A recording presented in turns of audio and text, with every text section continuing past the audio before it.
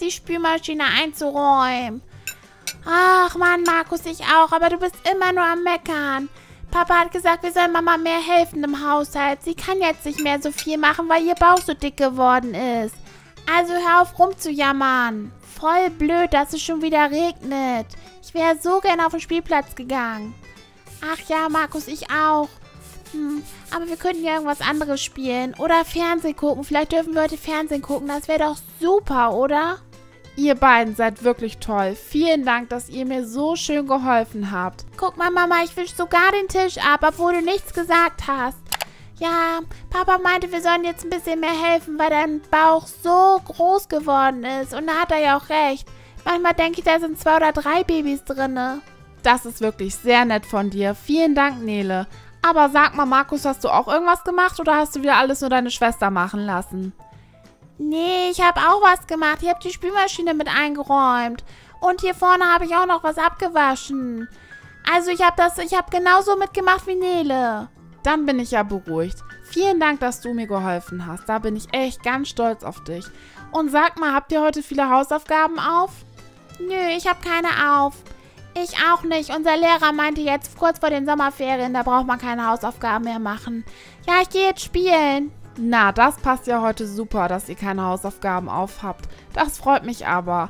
Dann könnt ihr ja sofort anfangen, endlich eure Zimmer aufzuräumen. Da sieht's ja aus wie bei Hempels unterm Sofa. Also los, zack, zack, aufräumen. Ach nee, bitte nicht. So schlimm sieht's doch gar nicht aus. Und ja, meine Seite ist total ordentlich. Also, Markus, wenn das für dich Ordnung ist, dann weiß ich auch nicht. Ich war vorhin gucken und bei dir sieht's richtig schlimm aus auf der Seite. Also los, nach oben aufräumen. Ja, aber bei mir ist es richtig ordentlich, Mama, oder? Ich brauche nicht aufräumen. Nee, Nele, bei dir sieht's genauso schlimm aus. Ich meine, du bist ja nicht ganz so chaotisch wie dein Bruder. Aber da liegen ja überall Puppen rum und ganz viel Kram und Klamotten. Geh bitte mit nach oben und räum mit auf. Ach, Manu, ich will aber nicht aufräumen. Ich möchte viel lieber spielen. Warum soll ich denn jetzt aufräumen? Na, weil morgen Linus und Emma kommen. Da wollt ihr die doch nicht in diesen Saustall lassen, oder? Wo soll Linus denn da schlafen? Auf den ganzen Spielsachen? Oder wollt ihr, dass Linus hier unten auf der Couch schläft? Also los, ab nach oben aufräumen. Oh, das wusste ich gar nicht, dass die morgen kommen. Warum kommen die denn morgen? Hat das irgendeinen Grund? Hat irgendjemand Geburtstag? Habe ich was verpasst? Nein, die kommen einfach mal so. Wir haben uns ja schon ewig nicht mehr gesehen. Sophia wollte mich mal besuchen wegen meinem Babybauch. Und ja, wir wollten mal besprechen, ob wir dieses Jahr zusammen in den Urlaub fahren. Und, und, und. Oh, wie schön. Da freue ich mich aber. Dann räume ich gerne auf für Linus. Ach, ist das nicht toll, dass Linus morgen kommt. Oh, ich bin ganz aufgeregt auf einmal. Räumst du deine Seite auf und ich meine, und wer zuerst fertig ist, der hilft dem anderen, ja? Ich freue mich ganz schön doll auf Emma. Ich spiele so gerne mit ihr. Und auch auf Linus. Das wird bestimmt cool. Vielleicht bringt Lukas ja auch mal wieder was von Werder Bremen mit. Das wäre echt toll. Ach Mann, ey, du kannst immer nur an Fußball denken, sogar da. Das ist echt abnormal, Markus. Du solltest mal lieber ein bisschen mehr lesen. Ja, und nicht so viel mal an Fußball denken. Ich würde aber auch wirklich mal wieder gerne zu Lukas fahren. Ja, und zu Sophia und zu Linus. Da ist es auch immer so schön. Ja, weil du wieder ins Weserstadion willst. Oder in den Aquapark. Oder shoppen. Nee, deswegen nicht. Aber irgendwie natürlich schon. Ich würde aber auch mal wieder so gerne die Hanna sehen. Die habe ich ja schon ewig nicht mehr gesehen. Ich mag die so gerne. Mama hat doch gesagt, dass Hanna auch mal hierher kommen darf.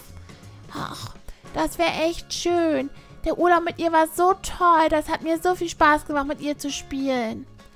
Hey Markus, ja, also, ja, Hannah mag ich auch ganz gerne. Aber ich wusste nicht, dass du sie so gerne hast. Ja, also ich kann die Hannah schon ganz gut leiden. Außerdem ist sie so abenteuerlustig. Das mag ich wirklich gerne. Das hört sich ja fast ein bisschen an, als ob du in Hannah verknallt wärst, wenn du mich jetzt fragst. Nee, ich bin nicht verknallt in die. Was denkst du denn von mir? Ich mag die einfach nur. Aber verknallt bin ich nicht. Das geht ja mal gar nicht. Na gut, wenn du das sagst. Sag mal, ich habe jetzt hier noch ein paar Klamotten. Ich bring die eben runter. Soll ich deine auch mitnehmen? Nee, nee, ich habe meine heute Morgen schon runtergebracht. Frag mich nicht warum. Ich bin jetzt auch fast fertig mit Aufräumen. Dann treffen wir uns gleich unten, ja, vom Fernseher. Also, ich glaube ja schon, dass der Markus ein bisschen in die Hanna verliebt ist. Also was Nele immer denkt, als ob ich verliebt wäre. Ach du meine Güte. Ach, mein Herz. Was ist denn jetzt passiert? Das war doch Mama, oder? Nele, Nele, hast du das auch gehört? Mama hat irgendwas mit ihrem Herzen. Ja, ich habe auch was gehört. Komm, wir gucken schnell nach ihr. Oh, hoffentlich ist nichts passiert mit dem Baby und mit ihr. Komm schnell, Markus. Oh je, was ist denn los, Mama? Warum hast du denn gesagt, du hast was mit deinem Herzen? Was ist denn? Und warum weinst du? Ja, Mama, ist dir irgendwas passiert? Sollen wir jemanden anrufen? Kommt das Baby? Tut dir irgendwas weh? Was können wir denn machen? Sag uns doch bitte, was wir machen können und hör doch bitte auf zu weinen. Ach, Quatsch, Kinder. Es ist alles in Ordnung. Macht euch keine Sorgen. Oh Gott, mein Herz. Aber Mama, was hast du denn mit deinem Herz?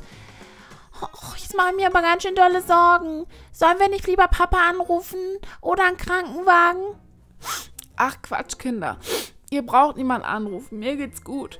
Und ich meinte nur mein Herz, weil mein Herz gerade so schnell geschlagen hat. Ja, aber warum weinst du denn so doll? Was ist denn nur los? Ja, ich weine so doll, weil euer Geschwisterchen sich gerade das erste Mal bei mir gemeldet hat. Es hat mich gerade getreten und ich habe es das erste Mal gespürt. Ja. Oh, na endlich. Endlich haben wir das Geschwisterchen gespürt, oder du? Da warte ich ja schon die ganze Zeit drauf. Ja, oh, das ist jetzt aber spannend. Oh, kann man jetzt wissen, ob es ein Junge oder ein Mädchen wird? Ich hoffe so sehr, dass es ein Junge wird. Oh, aber warum weinst du denn eigentlich? Das ist doch voll schön. Tut das Baby dir etwa weh? Ich will nicht, dass das Baby dir weh tut. Ja, ich will auch nicht, dass das Baby dir weh tut. Nein, das Baby tut mir nicht weh. Aber das war einfach gerade so schön, weil ja, ich darauf jetzt schon die ganze Zeit warte und ich habe damit heute überhaupt nicht gerechnet. Ich war jetzt gerade hier auch so im Aufräumstress und auf einmal hat das Baby getreten. Da habe ich einfach nicht mit gerechnet heute. Tritt das Baby jetzt gerade auch wieder? Nein, jetzt ist es gerade ruhig. Hey, ich will auch anfassen. Na toll, jetzt macht das Baby nichts mehr. Ja, Kinder, und ich muss jetzt auch wirklich ganz doll auf Toilette. Ach, ist das ein schöner Tag. Ich bin ganz erleichtert, dass ich endlich das Baby gespürt habe. Wirklich toll. Ach, da ist es schon wieder. Das ist einfach so schön. Ach, ich habe ganz vergessen, wie sich das anfühlt. Mein kleines Baby. Schön, dass es dir gut geht. Ach Mann, Kinder, jetzt hat's wieder aufgehört. Hm, echt komisch. Ach Mann, unser Geschwisterchen mag uns ja gar nicht. Das ist ja voll blöd. Sag uns bitte sofort Bescheid, wenn du wieder was merkst. Ich möchte auch mein kleines Geschwisterchen endlich fühlen. Ja, ich sag euch sofort Bescheid, aber vielleicht bewegt ihr euch nicht so hastig. Ach Mann, jetzt warten wir aber echt schon lange.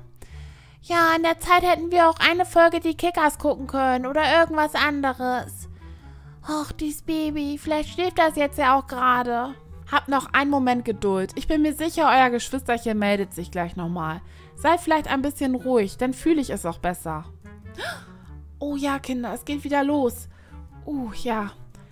Okay, aber macht's ganz vorsichtig. Ganz vorsichtig, Markus, okay?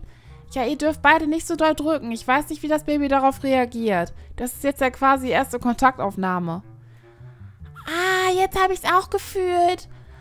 Oh, das ist so spannend. Ich kann mir gar nicht vorstellen, dass da ein kleines Baby drin ist. Oh ja, Nele, jetzt habe ich es auch gefühlt. Oh, ist das toll. Wie fühlt sich das eigentlich an, wenn das Baby so tritt? Tut das weh? Hm, also das kann man wirklich schlecht beschreiben. Das fühlt sich irgendwie an wie Schmetterlinge im Bauch. Ja, wie wenn man verliebt ist. Oder wie kleine Blubberblasen. Und wenn das Baby nachher größer ist, dann tut das manchmal ganz schön doll weh, weil dann tritt das Baby ja richtig doll. Jetzt ja, ist es noch nicht so doll. Vielleicht traut das Baby sich noch nicht so richtig. Auf jeden Fall hat Mama jetzt ganz, ganz viele Schmetterlinge im Bauch. Das hört sich so romantisch an. Wenn ich groß bin, will ich auch irgendwann mal ein Baby haben. Ach, ich freue mich schon so auf meine Schwester. Hey, was heißt denn hier auf meine Schwester? Du meinst wohl auf unseren Bruder? Hallo, liebe Playmobil-Fans. Wir freuen uns heute wieder sehr, dass ihr eingeschaltet habt. Ja, habt ihr auch schon mal einer Schwangerin auf den Bauch gefasst und mal ein Baby gespürt? Das fühlt sich wirklich komisch an und irgendwie total schön. Ja, wir hoffen, euch hat dieses Video gefallen. Lasst uns gerne einen Daumen nach oben da, wenn ihr wissen wollt, wie es weiter mit Clara geht. Vergesst nicht, diesen Kanal zu abonnieren und hier vorne verlinken wir euch noch ein paar Videos, die ihr schauen könnt, wenn ihr noch Lust habt. Bis dann, tschüss!